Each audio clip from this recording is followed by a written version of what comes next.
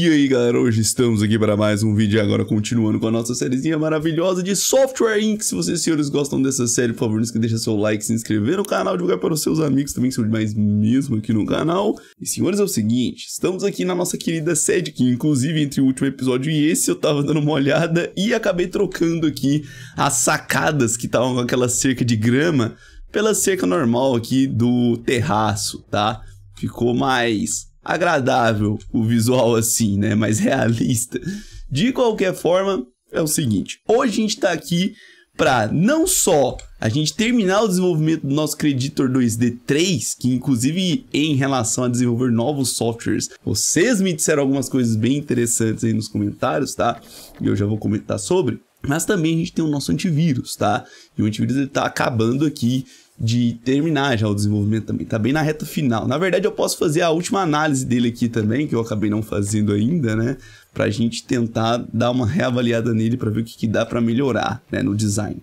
Procedimento ao padrão, a gente já fez isso algumas vezes, né? As vendas estão muito bem, inclusive elas aumentaram justamente porque no último episódio a gente construiu a nossa plataforma de distribuição digital, né? E além disso também a gente está desenvolvendo a patente para nossa pesquisa, que até agora não ficou pronta não, mas ela vai sendo feita. De qualquer forma, qual foram as dicas que vocês me deram? Galera, na parte de desenvolvimento de software tem duas coisas que a gente tem que considerar, tá? A primeira delas, vocês sabiamente me falaram que quando a gente está aqui na questão da segmentação de mercado, que você tem que escolher para qual ponto você vai priorizar no seu programa, existe um botão que se chama análise. E eu não sabia da existência disso daqui. você vê que, como disse para vocês anteriormente, né? Esse jogo tem muita coisa, cara. É muito complexo. Sempre tem um botão, alguma parada, algum dado, alguma informação que você vai, você vai descobrir. Você vai falar, oh, isso aqui vai me ajudar a planejar melhor os próximos programas ou, enfim, né, o futuro da empresa. Clicando em analisar, basicamente o que a gente tem é justamente um gráfico que mostra como está o interesse tá, no mercado geral dos, de softwares para esse software que eu estou desenvolvendo aqui. É, como é que ele está, o que, que a gente tem que priorizar. Por exemplo, dá para ver aqui que a simplicidade de fato é algo que está sendo muito pedido, né? Enquanto aqui embaixo a gente tem os outros dois. Na verdade, é saturação do mercado. Quanto mais baixo, melhor, na verdade, né? É, então esse aqui tá muito saturado. Programas simples de edição 2D aparentemente são muito comuns. Enquanto programas que precisam, que têm uma boa segurança e customização já não são tão assim, né? Então, na verdade, é bem o contrário. Os que estão mais embaixo é o que você mais precisa priorizar. Dá pra ver aqui, né? E com base nisso daí, a gente pode melhorar as vendas. Porque mesmo que o interesse do meu programa seja 100%, tá? O ideal seria a gente colocar o mais próximo possível disso daqui, tá? Desse tipo de gráfico aqui, ó, tá vendo? O que não é de fato o que está acontecendo aqui, como vocês podem observar, e como eu não tinha lido isso antes, provavelmente vários programas meus poderiam ter sido melhorados, tá? Com essa parada. Então é algo que a gente vai considerar para os próximos programas. E o segundo ponto que vocês me disseram é o seguinte: Cato, por que você não usa o gerenciador de projetos? Bem, até o momento, galera, a gente tinha uma equipe, meio que duas equipes só de desenvolvimento, né? O fluxo de trabalho era muito limitado, então não tinha muito como usar gerenciamento de projetos, porque basicamente o que ele faz é automatizar o processo de desenvolvimento de sequência, atualização, enfim, ele automatiza tudo o que se pode imaginar para o desenvolvimento de um programa, tá? E isso é bom, porque eu posso, por exemplo, colocar um gerenciamento de projeto para lançar aqui, sei lá, coloco aqui para lançar atualizações de, de tempo em tempo, eu coloco aqui para, enfim, fazer aqui quatro meses para design, e eu coloco aqui para atualizar aqui, ó, de três em três meses, blá blá blá, enfim, eu configuro tudo, a frequência que vai ser lançada a nova versão, o tempo que eles vão ficar fazendo design e tudo mais, e quando eu coloco o OK aqui, eu posso usar esse gerenciamento de projeto para, por exemplo, é, gerenciar automaticamente todas as paradas do meu sistema operacional. E aí ele vai lançar um novo sistema operacional, vai desenvolver um novo sistema operacional automático, sem eu precisar de ficar indo lá e ficar fazendo manualmente a sequência e tudo mais, tá? Isso é maravilhoso, né? Isso é lindo demais. Mas enfim, eu vou aqui agora colocar a minha equipe de design para trabalhar aqui no redesign do meu antivírus, né? Aí, ó, perfeito. E vamos ver como é que vai ficar. Tomara que não perca muito progresso ali no desenvolvimento, né? Mas eu acho que não vai, não. De qualquer forma, eu agora posso utilizar esse gerenciamento de projeto, porque a gente tem uma equipe muito grande, né? A gente tem muita gente e é várias equipes que conseguem manter um fluxo de trabalho muito melhor, né? Inclusive a gente perdeu um monte de tempo aqui, mano. De. Meu Deus do céu, a gente realmente perdeu um monte de de avanço aqui no antivírus, velho. Meu Jesus. Mas enfim, tá? De qualquer forma, outras dicas que vocês me deram que a gente vai aplicar hoje também é o seguinte. É, a galera falou muito aí nos comentários para eu construir banheiro, tá? E outra coisa também seria a gente construir corredores subterrâneos conectando os, as torres, né? Os prédios. E ambas as ideias são boas. Na verdade, o corredor é subterrâneo, ele não vai ser lá tão útil, né? Porque é óbvio que eles vão preferir passar pela superfície, ou então por esses outros corredores aqui que o acesso é mais rápido, tá? Mas os banheiros que eu poderia construir aqui no subterrâneo é uma ideia boa. Ótimo, para falar a verdade, tá? Sem contar também a sala de reunião, tá? Eu ainda não tenho sala de reunião aqui na, no nosso na nossa empresa e com certeza eu preciso de uma, tá? Não tem como fugir, não. Então, eu tô dando uma olhada aqui, né? A gente não tá utilizando esse último escritório aqui, nem nada do tipo, apesar de que tem alguns caras trabalhando aqui, ó, como vocês podem observar, né? A galerinha do marketing ali. Mas eu vou deixar esses escritórios aí justamente porque. Inclusive, deixa eu dar uma olhada. Ó, a galera do marketing é justamente os caras que eu tô olhando aqui agora, são os caras que estão pistola, velho. É isso mesmo aqui. e eu sei por quê. A equipe de marketing, ela tem uma, uma, é uma boa galera, tá? Tem uma quantidade grande de funcionários, 11, pra falar a verdade. E a gente colocou aqui algumas salas, né? Vamos colocar aqui as etiquetas de sala. A gente colocou o suporte para trabalhar ali. A gente colocou o marketing para trabalhar aqui. A gente colocou os outros marketings também para trabalhar por aqui e tudo mais. Enfim, a questão é que essa galera aqui, esses escritórios, eles não têm condição de suportar todos os funcionários do marketing. Ó, 1, 2, 3, 4, 5, 6, 7, 8, 9, 10. São 10 computadores para 11 funcionários, tá? Em cada equipe de marketing. É lógico que não vai dar certo, não é mesmo? Então o que eu vou fazer? Vou pegar aqui então, sei lá, a, o salário, tá? E vou demitir o que tiver maior salário. E que não. É, ó. Nível 1 de marketing, exatamente. Tem o maior salário vai ser demitido, tá? Ou então, na verdade, ao invés de demitir, eu posso só vir aqui e colocar nove pessoas ali na equipe, que ele demitiu. Aí sim a gente vai ter condição de encaixar a equipe no escritório. Porque os escritórios antigos eles não são tão grandes, né? Infelizmente não tem como fazer muita coisa, não. Não existe milagre. Enfim, o outro de marketing que a gente tem, tá certo, ó. É 10. Só o marketing que tem um pouquinho mais ali, mas tá de boa. Mas enfim, a ideia aqui então vai ser a seguinte, tá? A gente vai construir mais um andar aqui nessa ala que vocês estão olhando aqui agora, tá? E, né, e é justamente no prédio principal, tá? Ou seja, o prédio principal vai ser um andar maior que as torres laterais. Vai, ser, vai ficar até legal, né? Vai dar um aspecto meio que de pirâmide assim e tal. E de novo, tem mais gente falando que tá com problemas para se concentrar. Ô meu amigo, você tem certeza? Deixa eu dar uma olhada aqui. Eu não consigo ir lá ver o que, que ele tá arrumando, mano.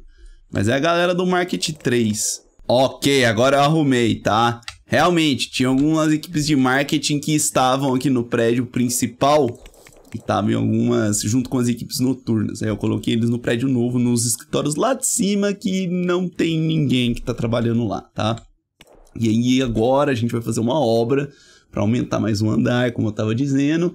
E nesse andar vão ter duas salas gigantescas de reunião para a gente conseguir lidar com as reuniões dessa galera, dessa quantidade de equipe que a gente tem. Isso sem contar a sala de reuniões do nosso prédio antigo que acaba funcionando ainda também, tá? E eu já vou aproveitar para fazer um chuveiro e eu também já vou aproveitar para fazer o corredor conectando as torres aqui por baixo, além do acesso lá em cima do andar novo também e tal, que a gente vai ter que fazer, tá? Enfim, bora então de mão na massa. Dá para observar aqui que tudo está indicando que teremos de novo mais um recorde de vendas aqui nesse mês. E tivemos mesmo, ó, com 6 milhões e 400 mil de venda. A empresa já está valendo 49 milhões.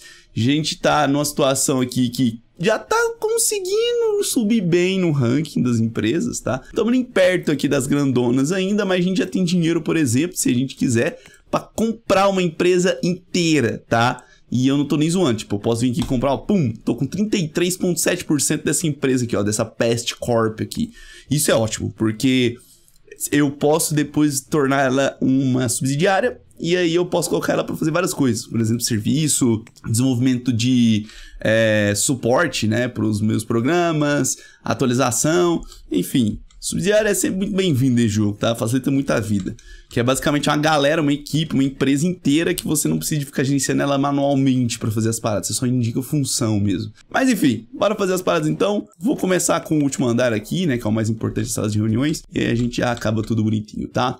Bora lá. Calma, calma, calma. Momento Orecames do Plim Plim, meus senhores. E vocês sabiam que eu faço lives de segunda a sexta na Trovo depois das 19 horas? Não?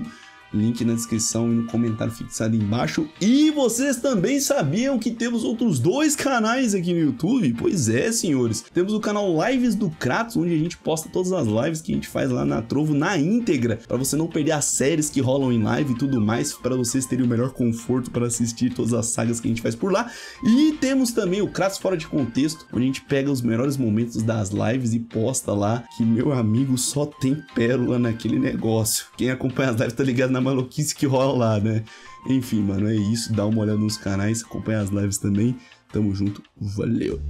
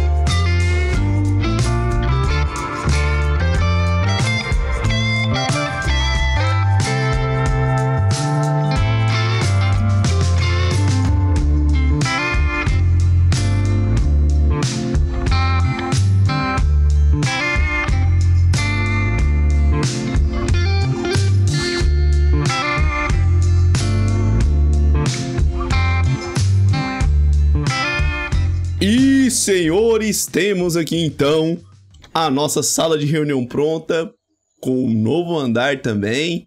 A área externa nova, né? Porque acabei tendo que dividir a área externa aqui na, no, do, da torre principal e as outras torres aqui secundárias e o chuveiro lá embaixo. Acabei não fazendo a conexão subterrânea entre os túneis aqui, né? Entre as torres, na verdade, porque no final das contas ia ser meio inútil mesmo, tá? Ia dar um trabalho meio desnecessário também, porque eu teria que achar onde que tá as torres no posicionamento lá do subterrâneo.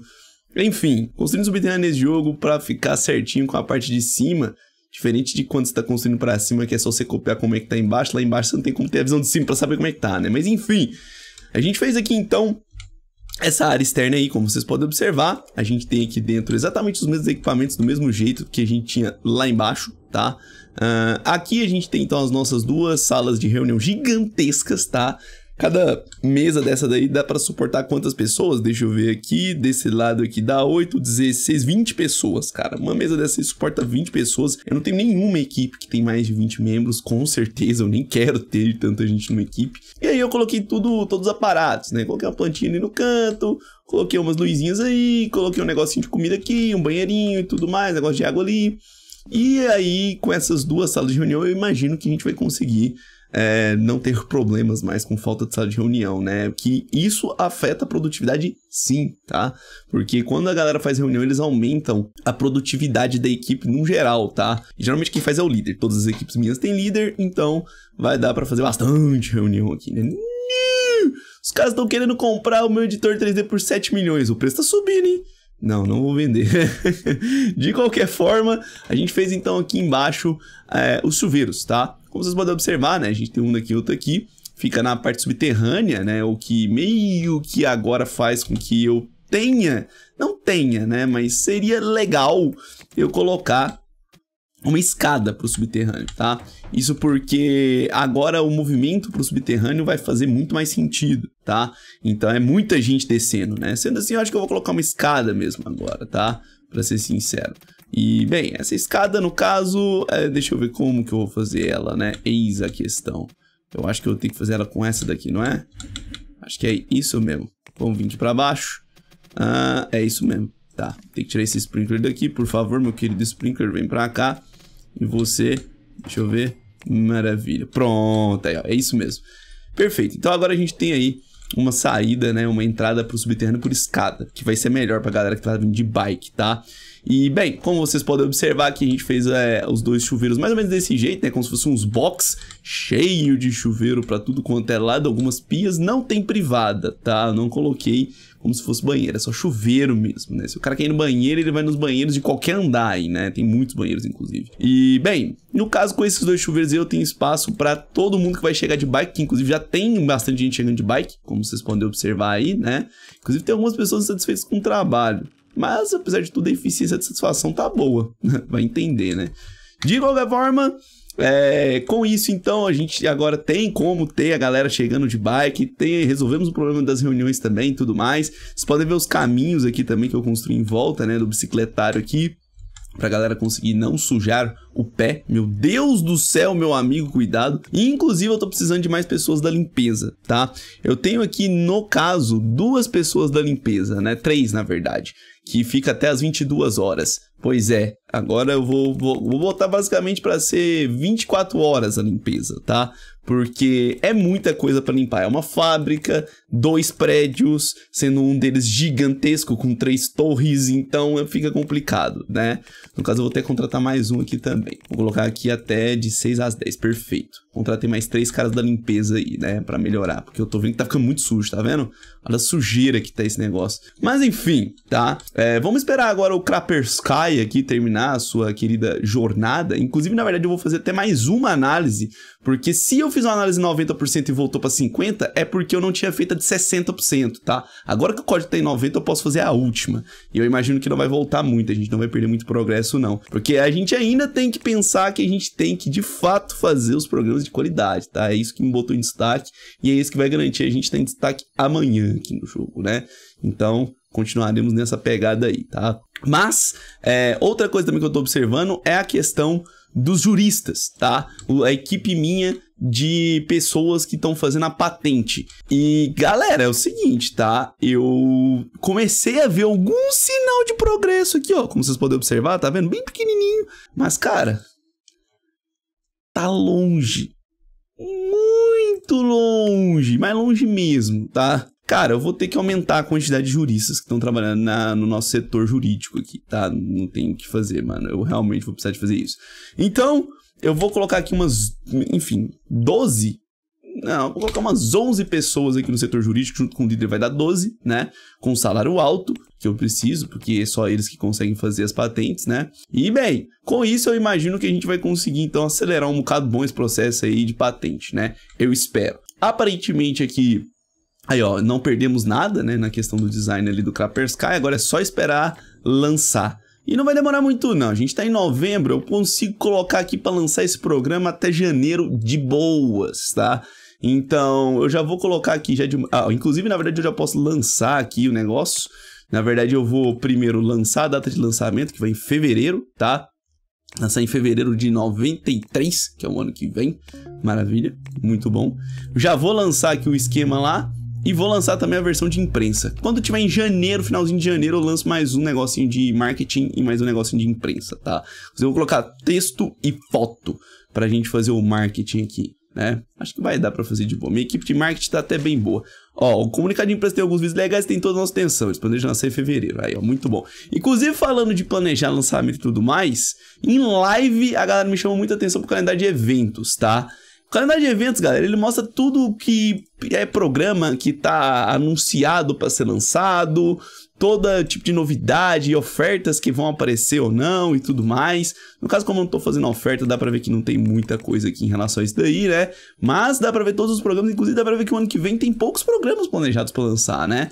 Sendo que o meu antivírus, por exemplo, ele tá tranquilo, ó. Não tem nenhum antivírus que foi lançado em 92. E o ano que vem tem um antivírus só que em julho, né? O meu vai ser lançado em fevereiro.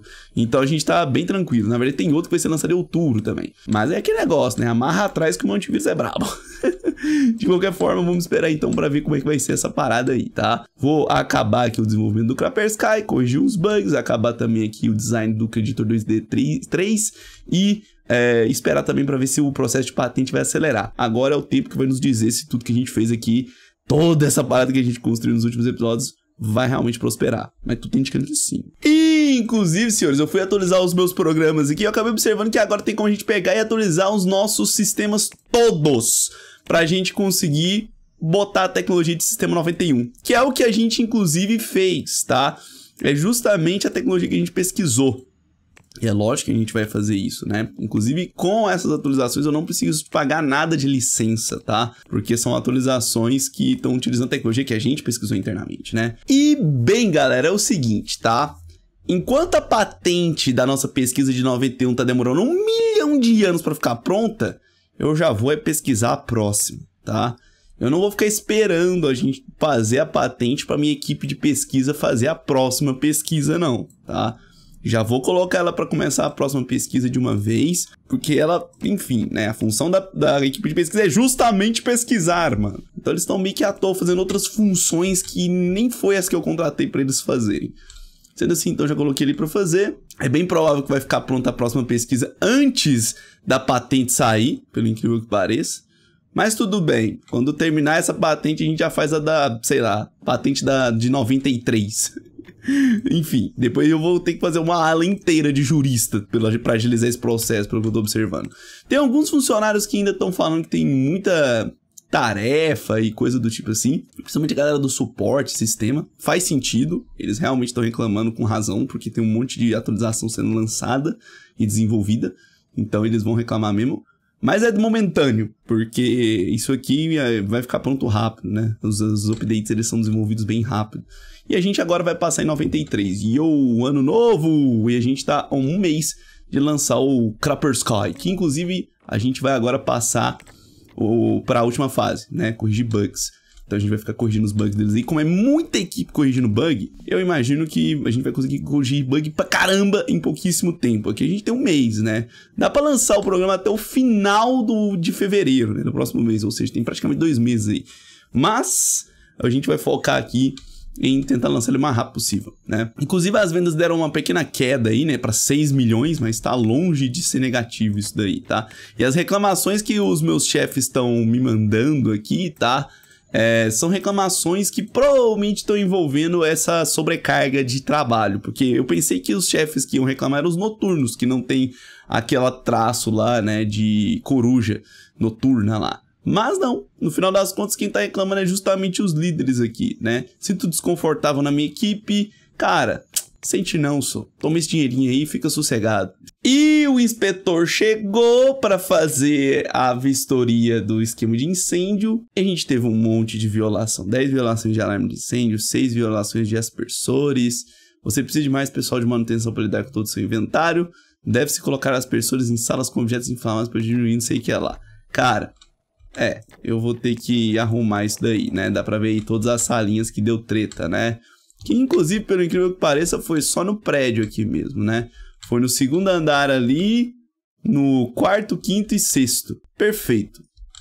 Vou arrumar, tá? Colocar os negócios tudo, chamar ele ali de novo para revistoriar. E também, o mais importante, contratar mais gente de manutenção. Já tinha contratado mais uma pessoa para manutenção, mas vou contratar mais uma, né? Que aparentemente duas pessoas não vai ser o suficiente. Então a gente vai ter alguém da manutenção das 8 às 8 da noite, tá? Maravilha, é possível, né? Agora deve dar conta. Mas eu vou arrumar aqui então e vamos esperar para lançar o nosso querido antivírus, o incrível antivírus nosso, que vai ser o primeiro, inclusive. E bem, senhores, já podemos então lançar o nosso querido Crapper Sky, tá? Lancei ali as paradas de marketing, deu 205 seguidores, não é muita coisa, mas é coisa pra caramba, na verdade, para quem nunca lançou nada de antivírus. De todas as paradas que a gente tem aqui, os únicos que a gente não tem nenhum reconhecimento é justamente antivírus e jogo tá? Que a gente não desenvolveu nenhum jogo até hoje. Quem sabe a gente não faça uma divisão aí de videogames depois, tá? Mas bora lançar esse queridão aqui então, ok? Vamos liberar ele aqui e vamos ver como é que vai ficar aqui a questão da, da avaliação, né? É uma obra magnífica e N. Marshall é brilhante. Ninguém sabe quem que eu sou, obviamente. E também tá falando que, mano, tudo ficou maravilhoso no programa, a única coisa que não tem é reputação do meu lado, tá? O orçamento do antivírus vai ser 100 mil, porque eu quero fazer esse antivírus ser extremamente bem conhecido e minha equipe de marketing está muito eficiente no trabalho, tá? Inclusive, eu já coloquei já para imprimir eles, tá? A gente tá com impressão do Crapper Sky já sendo feita. Antes do lançamento mesmo, a gente já tava imprimindo. Tá de boa. E além disso também, deixa eu pegar aqui o nosso querido marketing.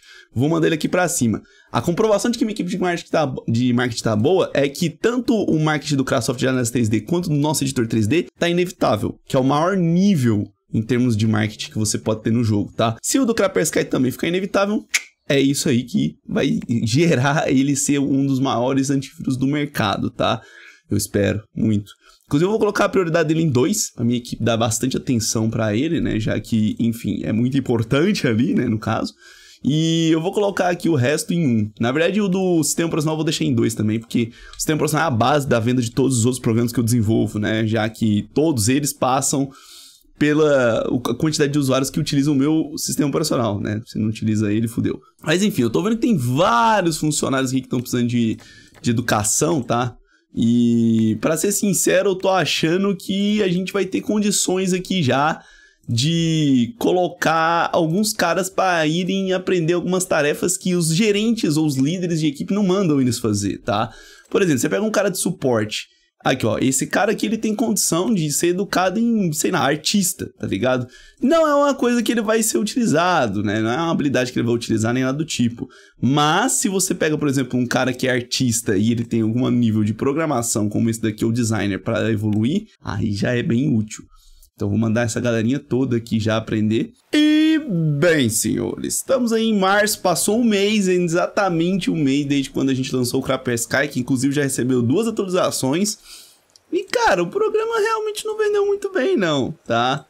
Bem, existem alguns motivos para ele não ter vendido muito bem. Primeiro que ele ele tá meio que num mercado muito saturado, tá? Antivírus existem desde o início do jogo. Antes, antes de entrar no jogo já tem antivírus, tá? é na década de 80. Então, meio que é complicado mesmo a concorrência ali. É que nem os editores 2D, né? Bem difícil. Segundo ponto é que eu não tenho reputação, né? Em antivírus. Agora eu tô construindo uma reputação no antivírus, então lá vai. O marketing tá melhorando também. E no final das, no final das contas, a gente teve uma criatividade top e uma qualidade top. Então o problema não foi a qualidade do programa. Mas a gente tem o outro ponto, que é o que a gente viu no início desse episódio, que é justamente aquela saturação do mercado que a gente não tinha visto na hora de desenvolver o antivírus, né? Se eu tivesse feito a saturação certinha lá, visto a saturação e tudo mais, provável que a gente teria um programa um pouco mais competitivo. E por último também é que a gente tá vendendo só pro, pro nosso sistema profissional, né? O que já é meio limitado, mas o nosso sistema profissional ele tá bem famosinho. Inclusive, até hoje, a gente tá aqui com o único editor 3D do mercado, tá? Até hoje. Até hoje tá assim. E isso tá sendo muito bom mesmo, porque é o que tá sustentando a parada, tá? Se a gente for dar uma olhada, as vendas do nosso sistema profissional até subiram muito. Agora começa a cair de novo, tá? Normal. Uma hora ele vai cair mesmo, tá? E a gente vai ter que desenvolver um novo sistema profissional. A tendência é essa. O dinheiro em caixa vocês podem ter visto que caiu um bocado, mas é porque eu comprei algumas ações, tá? A gente tinha 15 milhões em ação, a gente passou para 31 milhões, porque eu comprei algumas empresas aqui. Pra vocês terem noção, essa empresa aqui eu tenho cerca de 35,5% dela. E essa outra empresa aqui, eu tenho 23, 24% dela, basicamente. As outras eu tenho um bocado menos, né? Ah, essa daqui dá até pra comprar mas um bocado se eu quiser, mas eu não vou comprar não. E essa aqui, então, nem se fala, porque é muito caro, né? Eu tô de boas. Mas os dividendos estão sendo gerados, tá? Pelo menos eu tô ganhando um pouquinho de dividendo dessas empresas aí. Mas é aquele negócio, o foco nem é o dividendo, é tornar elas subsidiárias no futuro, tá? Mas de qualquer forma, eu também fiz outra coisa, que é comprar as ações que eu tinha vendido. Teve uma época que a gente estava na parte financeira, eu vendi um pouquinho das minhas ações, eu fui lá e agora comprei elas de volta, tá? E comprando essas ações de volta, eu consigo economizar no dividendo, porque antes a gente tinha que ficar pagando dividendo para os acionistas, agora não tem mais, né? Então, muito bom. É, a desvantagem, na verdade, é que tirando as ações do mercado, né? Que agora não tem mais ações do mercado, é tudo um dono só, é uma sociedade fechada, vamos dizer assim é, a gente não tem a flutuação de preço das ações da empresa, tá? Então, ela meio que eu perco oportunidades de talvez vender mais ações e ganhar mais dinheiro. Por exemplo, se eu vendesse 54% aqui das ações da empresa, daria para levantar 54 milhões, cara. Por dinheiro, né? 1% da empresa dá quanto? 1% da empresa dá 500 mil. Ainda não acho que vale não, para ser sincero.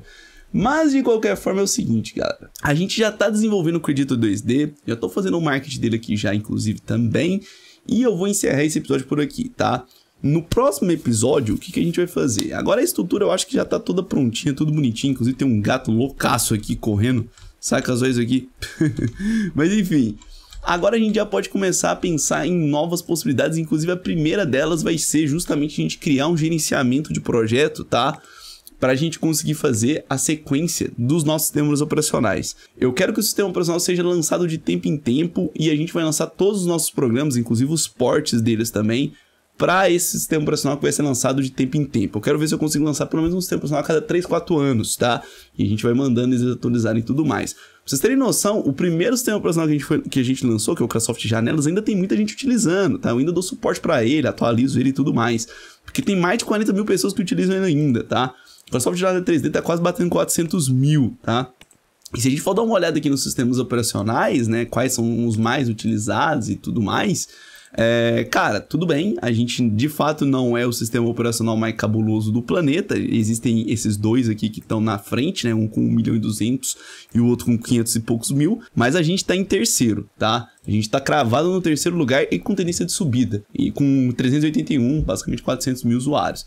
Então, eu imagino que a gente tem potencial que vai crescer, é isso que a gente vai explorar no próximo episódio, tá? Com gerenciamento de projetos, automatizando esse processo aí, desenvolver novos sistemas operacionais, porque é ele que dá a base pro resto, né? No final das contas, então é isso. Se vocês gostaram, por favor, não esqueça seu like, se inscrever no canal, jogar pros seus amigos também, que surge demais.